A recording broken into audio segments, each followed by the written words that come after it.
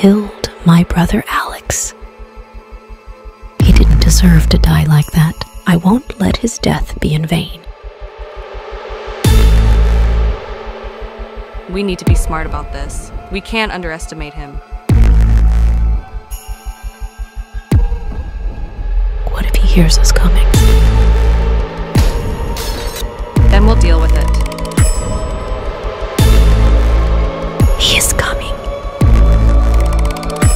We have to keep moving.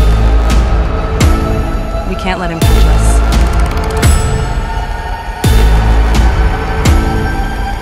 I don't know if I can do this.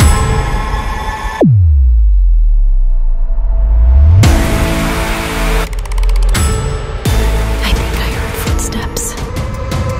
I feel like he's watching us. I can't see anything.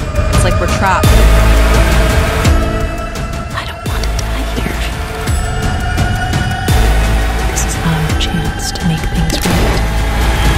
Let's make it count.